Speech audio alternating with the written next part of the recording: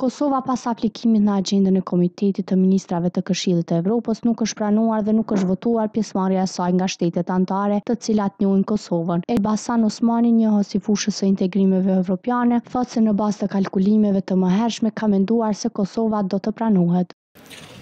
Po, Kosova do të thotë ditë më parë e ka bërë edhe aplikimin për t'u anëtarësu në Këshill të Evropës dhe me takimin e parë të ministrave, të komitetit të ministrave, i cili takim bëhet do të thotë një herë në vit nga Këshilli i Evropës, nuk ka arritë nuk ka arritë të hyjë në agjendën e takimit dhe kjo çështje mendoj që është pak paradoksale sepse në kalkulimet e mëhershme ne kemi mendu që do të pranohemi për shkak që vendet anëtare të cilat janë pjesë e Këshillit të Evropës me dy të tretat kemi mendu që do ta kalojmë sepse ato shtete njohin Kosovën por që mendoj që relacionet e Republikës së Kosovës viteve të fundit me shtetet, me shtetet mike nuk janë, nuk qëndrojnë edhe ashtu siç do të duhej dhe mendoj që kjo ka ndiku që ne të mos futemi fare në agjendë për t'u trajtuar, domethënë, dhe për t'u shiku mundësitë për anëtarësim në Këshill të Evropës. Pas mbledhjes në rrjetet sociale ka qarkulluar një foto e presidentit të shtetit të Sërbisë, Aleksandër Vuçiq bashkë me presidentin e Këshillit të Evropës, Charles Michel, që sipas Osmanit ajo foto kishte një mesazh për shtetin e Kosovës. Mas mbledhjes së Këshillit të Evropës ne e kemi pa, ka qarkullu edhe një fotografi e presidentit të Sërbisë me presidentin e Këshillit të Evropës, që për neve është një mesazh, që në aspektin diplomatik nuk qëndrojmë mirë, prandaj viteve të fundit mendoj që kanë ndryshu edhe situatat, sepse lufta diplomatike e Serbisë për çnjohje dhe për të kriju, domethënë, mendim negativ për Kosovën është jashtëzakonisht e madhe,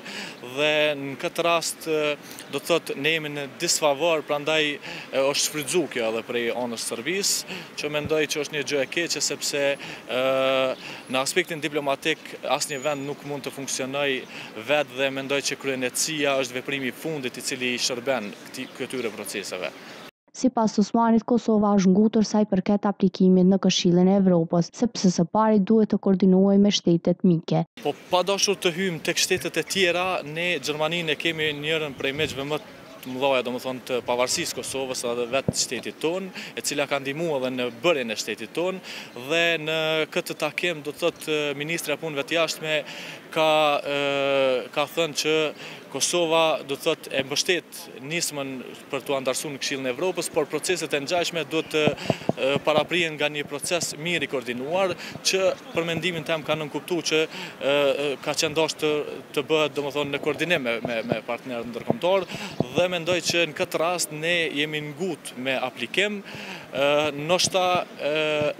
Edhe do të duhej të bëhej në këtë kohë, ndoshta edhe më herët, por që asnjëherë asnjë veprim në aspektin ndërkombëtar nuk duhet të bëhet pa partnerët, domethënë të cilët kanë ndihmu edhe vetë bërjen e shtetit të Kosovës, prandaj në këtë rast këto veprime të cilat bëhen pa koordinim mund të kenë rezultate edhe negative siç është rasti i mos futjes në agjendë të Këshillit të Evropës. Fakt vetëm se është dashtë të koordinohemi me partnerët edhe me mbështetësit ma të mëdhaj, sepse në raste të caktuara ata dinë edhe të ndoshta jo të heqin dorë, por të lënë me një proces të vetëm dhe kjo nuk është aspak e mirë për ne. Kosova megjithatë ka arritur të anëtarësohet në disa organizata ndërkombëtare, në mesin e tyre është Banka Botërore, Fondi Monetar Ndërkombëtar, Banka Evropiane për Rindërtim dhe Zhvillim, Komiteti Olimpik, Federata Evropiane e Futbollit dhe Federata Botërore e Futbollit.